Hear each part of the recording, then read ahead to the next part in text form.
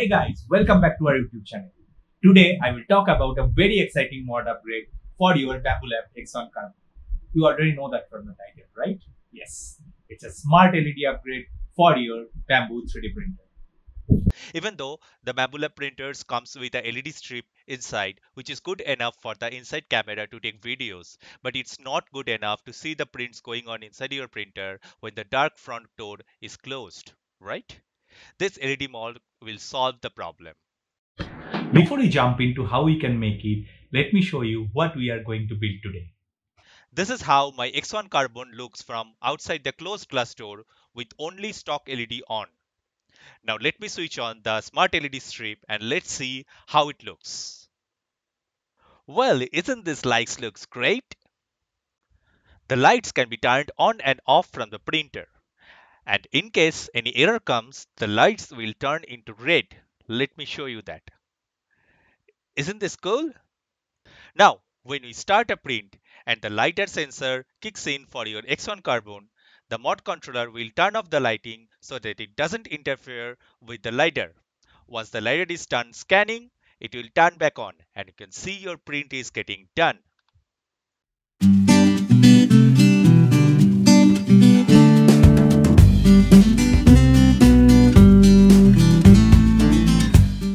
Once the print is done, the light will turn into green. Now, before I show you how I have built it, I got this idea from a YouTube video of Modbot. I will share the link of that video in the description. Now, in his video, he was using a mod controller developed by the Dutch developers, which is this one. I will share this link in the description as well. But the problem at my end was first, it was unavailable when I thought to make it for my printer and also it would cost me more than double of the price to get it shipped to India along with the custom duties. Secondly, it requires a 24 volt RGB CCT light strip, but in India I found those were a bit costlier and a 12 volt LED strip is much cheaper and will do the job very well, so I thought to make it myself. First, let me show you what all you will need. First is the LED strip. I have used a 12 volt RGB CCT LED strip. You can also use a 12 volt RGBW LED strip. I will tell you what changes you will need to do for that. But I will suggest you don't use only RGB strip because the white light in those RGB strip doesn't look very good. Second, you will need a 12 volt 2 ampere adapter. Third, a female DC power connector. Fourth, some connecting wires. And to make the PCB controller, first you will need a ESP8266 chip, a PCB board, two capacitors of 470 μF, some terminal blocks, five MOSFET transistors, and one voltage regulator, which is L7805. I will give all those links in the description. Also, you have to print this top glass riser. This will sit on the top of your printer the top glass will sit on top of it so that we can mount our LED strips inside this glass riser so that you don't have to touch anything into the printer and void its warranty. Okay, now it's time to build the LED controller. The LED controller which we will build will be controlled by the printer through MQTT or Message Queuing Telemetry Transport. This is a messaging protocol used between IoT devices. And to make sure our LED controller can talk to the printer via MQTT, we have to get it connected to our home Wi-Fi. For that, we will be building the controller using ESP8266 chip, which will listen to the information the printer puts through the MQTT channel and can react to that to change the color of the LEDs. I won't go through much details about ESP8266 in this video, but it's a Wi-Fi microchip with built-in TCP IP networking software which we will use to listen to the printer and send signals to the LED strip to light up the required color. To do that, we have to embed a code into the ESP8266 chip. Before I walk you through the code, let me tell you I haven't written the code from scratch. It's been developed by the Dutch developers with Creative Commons Attribution Non-Commercial Share Alike license. I have modified the code a bit to work with my design.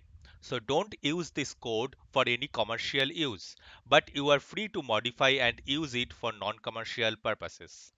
This is the code base from the Dutch developers and here is the modified version from my side. I will share these links in the description.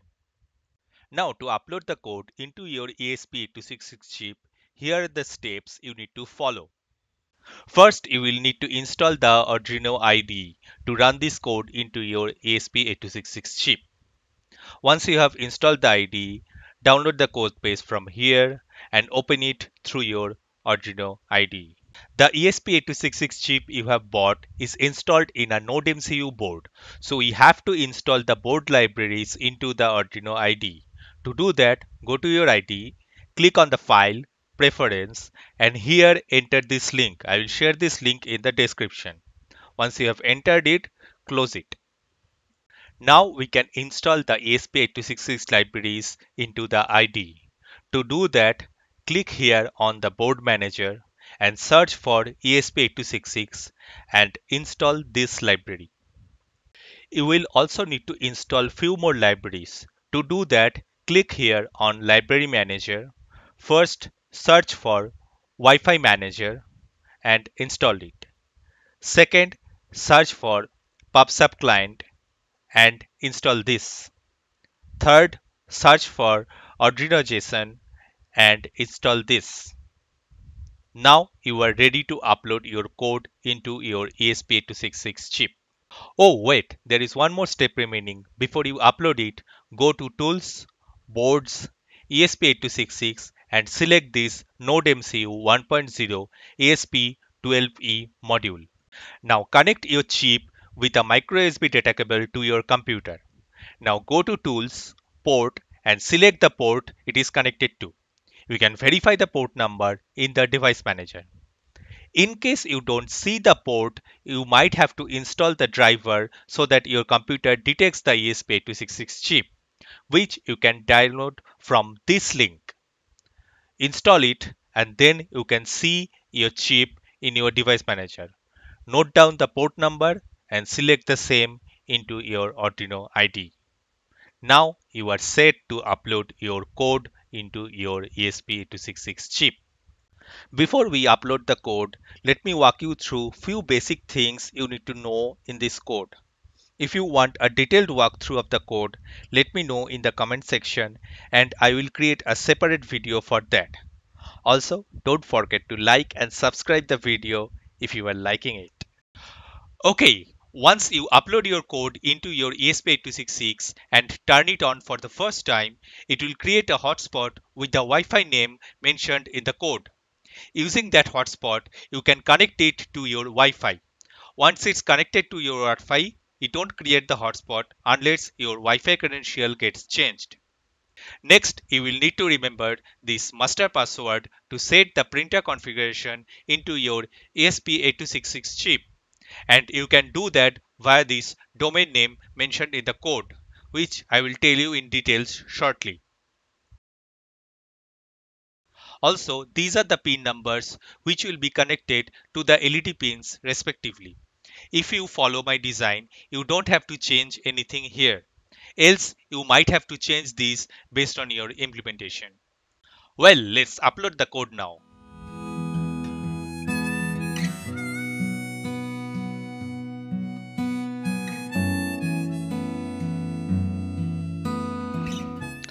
Once the code is loaded, go to your Wi-Fi and you will see your Wi-Fi hostname. Just click on it and connect. Once you have connected, it will automatically open the connecting website. Here, click on configure Wi-Fi. Select the Wi-Fi which you have. Enter the password for your Wi-Fi.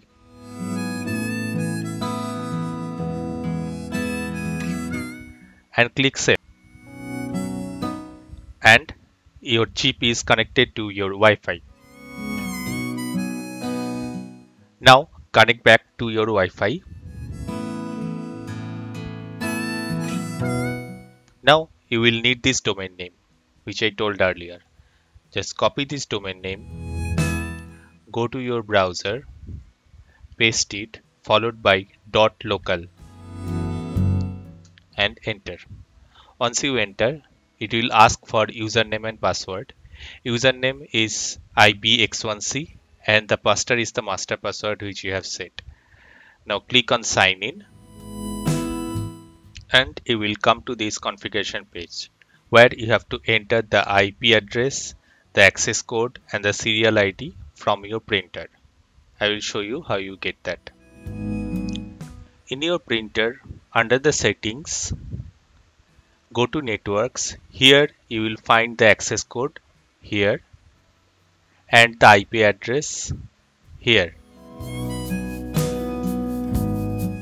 Then under the general, in device info, you will find the serial ID of your printer.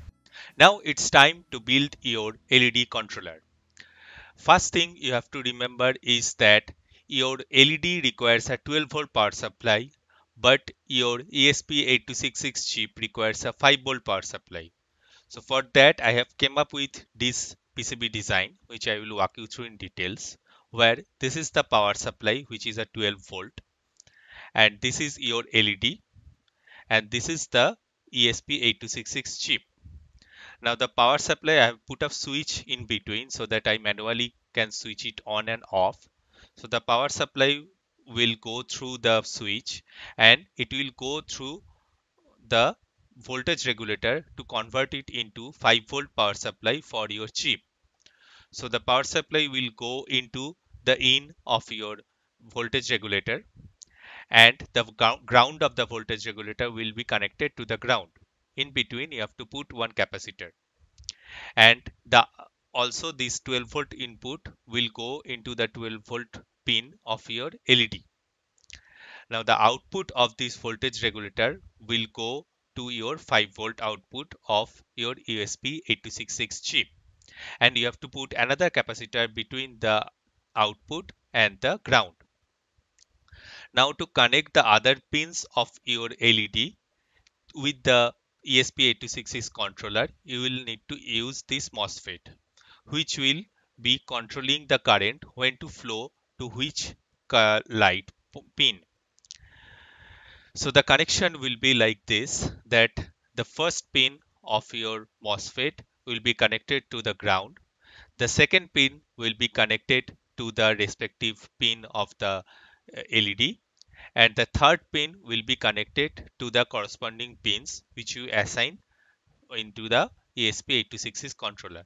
Now if you follow this pin pattern then you don't have to change anything into the code but if you change your pin accordingly you have to change into your code so that you can control the uh, current flow into those particular LEDs. Now if you see here I have one, two, three, four, five, five pins apart from the voltage uh, in pin. These are because I my LED has RGB and white warm and cold warm light. If you are using only RGBW, then instead of 5 pins, you will have 4 pins, which you will be connected to 4 pins of this ESP8266 and you will require only 4 MOSFET in that case. Now this is the PCB design which I have followed and I am also very new to designing any PCB or doing any soldering to it. I will show you the process uh, in shortly, but you can follow this diagram to build your own. I have also come up with a custom PCB design, which is this one, but I haven't printed it out myself, so which I will do and try it out. But in case any of you want to have this file and print it yourself so that the soldering will be very easy, do let me know in the comment section and I will share this file with you for free.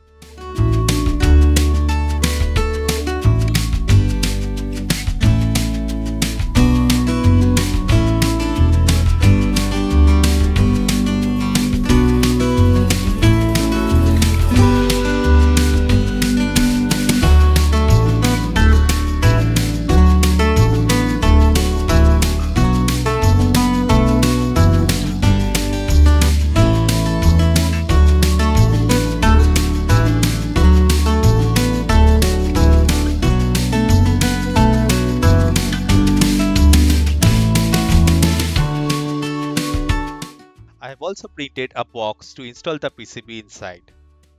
And this is how the final look of the PCB inside the printed box. I know it's not the best possible way to shoulder this, but as it is my first attempt towards building a PCB, I think this looks great and serves the purpose. But with the custom PCB board, I am sure it will look better. Once I get the PCB delivered, I will do another try and will share that design with you all. Last thing you have to print is the top glass riser before you do the final assembly. Once your top glass riser is printed, attach the LED strip inside of the glass riser. LED strips normally comes with adhesive at the back of it and that will be sufficient for this to stick in. Once done, place it on the top of your printer and plug it in and enjoy a awesome lighting. That's all for today. Thank you for watching this video. Do let me know your views in the comment section. Happy printing!